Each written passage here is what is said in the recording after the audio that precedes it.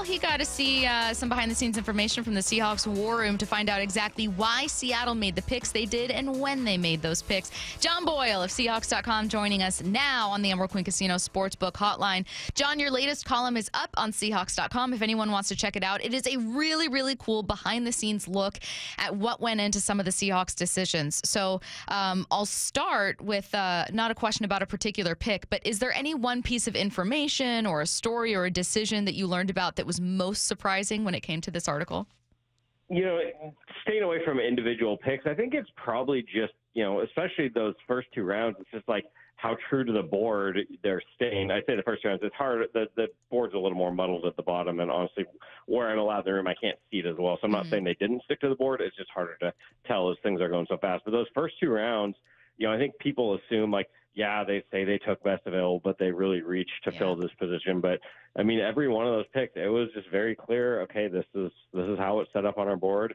You know, obviously, you know, I think we all knew defensive line looked like the biggest need probably, and you know maybe in the second round interior line or something like that. But um, they just, you know, they they were true to it. And they said, you know, boom, boom, boom. These are the guys we have highest up right now. We're going to take them.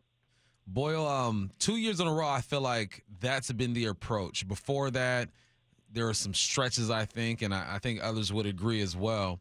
Um, these past couple drafts, has that been an emphasis? I mean, we hear John talk about it, we hear Pete talk about it, but somehow it seems like they've been influenced in the past. I mean, what is that the feeling that you got that there was no budging, no matter what happened, this was going to be the approach? I think so, but I also think you know it probably has. You know, we, we talk about like why last year's draft class was so good. It, I don't know if it's as much okay, they were true to their board on the day of, but it might have also been how the job they did, you know, in the process leading up to it of setting that board of, you know, like John Schneider's talked about a whole bunch of, you know, they're doing a better job. They feel like of getting to know the players, the competitors, kind of what drives them. And that's kind of the theme they've talked about with last year's class in particular just sort of the, the competitors they got, the guys who were ready to come in and challenge right away. You know, of course, it kind of worked out that you know, yes, Charles Cross was way up high on their board, but he also came into a position of obvious need. So in some cases, it's sort of the need matched the best player available, so that guy's going to come in and start. So. I, you know, I, I don't think in past years, I, you know, I'm not going to pretend I've been in that room every year and can tell you, but I don't think it's been that they've gone all over the place, you know, reaching for guys it positions a need in past years, and that's why they've struggled. Mm-hmm. Although John Schneider did say, you know, in a few cases that has led to problems, but I think it's more that you know the months and months of work, really a year of work, into that process of how they're evaluating guys. Um, they had been talking, particularly John Schneider, in the weeks leading up to the draft about the lessons that they'd learned from self scouting their own approach in previous mm-hmm. drafts. John, when you were listening to some of those conversations about um, Schneider talking about what he learned, were there any specific players, drafts, years that came to mind where you thought, oh, I bet that was a learning opportunity?